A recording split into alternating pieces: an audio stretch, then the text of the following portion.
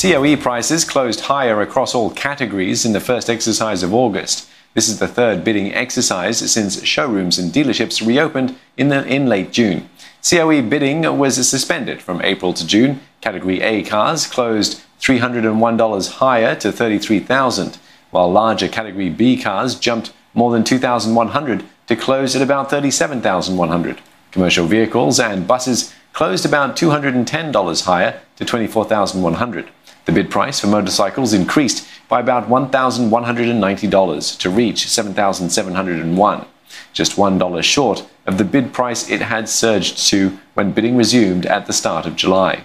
In the open category, which is for all vehicles except motorcycles, COEs cost a 1,501 more at, at 36,502.